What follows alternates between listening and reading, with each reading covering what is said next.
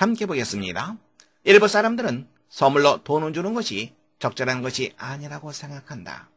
일부 사람들은 무엇무엇이 무엇무하다고 생각한다. think를 쓰고요. 대체를 쓰면 되겠죠. 일부 사람들, some people.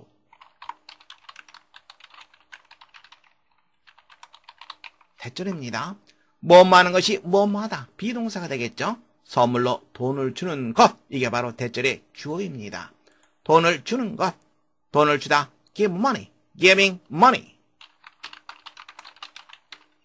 다음에 선물. 선물은 영어로 그렇죠. gift 혹은 pleasant 이런 표현을 쓸 수 있습니다. 무엇뭐로 as라고 하는 표현을 쓰면 되겠죠. 여기서는 gift를 쓰겠습니다. as a gift 적절한 것이 아니다. 적절한이라고 하는 단어는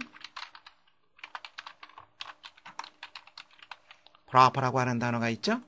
무엇이 아니다. is not. not a proper thing. 이렇게 우리가 문장을 쓸 수 있습니다. 다시 한번 확인하세요. 무엇이 뭐뭐하다고 생각하다. 이런 경우에 think를 쓰고요. 대절 주어 동사를 쓰면 됩니다. 선물은 gift 혹은 pleasant. 그리고 적절한 proper라고 하는 단어를 씁니다. 주요 표현 다시 한번 확인해 두시기 바랍니다. 두 번째 문자입니다. 일본 나이 든 사람들은 제한된 수입으로 먹고 산다. 나이 든 사람들 영어로 어떻게 표현하죠?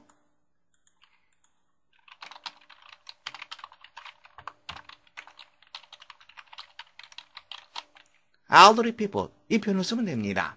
일부 나이 든 사람들 some elderly people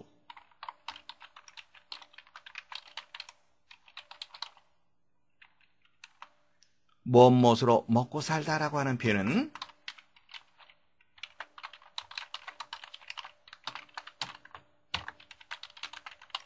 live on이라고 하는 표현이 있습니다. 그래서 live on 제한된 수입으로 제한된이라고 하는 표현 limited 이 표현을 쓰면 됩니다. 다음에 수입이라고 하는 표현은 income 이 표현이 있죠. 그래서 live on 제한된 수입으로 live on a limited income 이렇게 문장을 쓸 수 있습니다. 주요 표현 다시 한번 확인하세요. 나이 든 사람들 elderly people 뭐 무엇으로 먹고 살다 live on. 제한된 limited. 그리고 수입은 income. 주요 표현들 머릿속에 잘 정리해 두시기 바랍니다.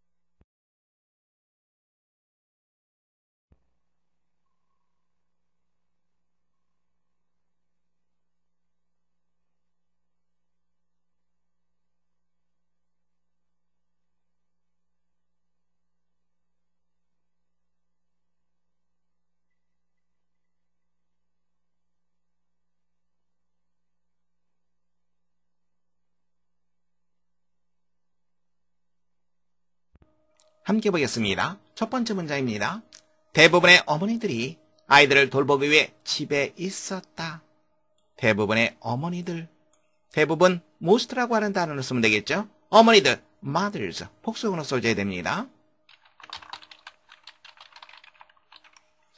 집에 있었다. 집에 머무는 걸 말하죠. 머물다라고 하는 단어. 여러분들 알고 있죠?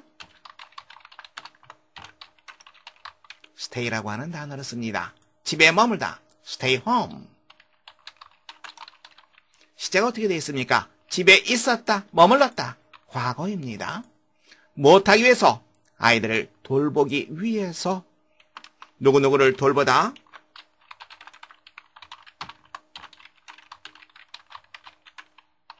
take care 이 표현을 쓰고 있죠. 그래서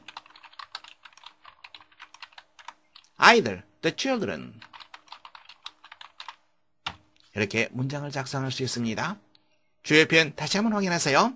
누구누구를 돌보다 take care of 대단히 중요한 표현입니다. 머릿속에 꼭 정리해 두시기 바랍니다. 두 번째 문장입니다. 어머니들이 모든 가사일을 전적으로 책임졌다. 어머니들이 책임졌다. 책임지다라고 하는 표현.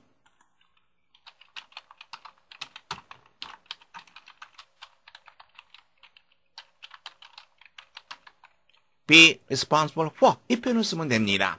무엇에 대해서 책임지다. 다음에 전적으로라고 하는 표현이 있습니다. 전적으로는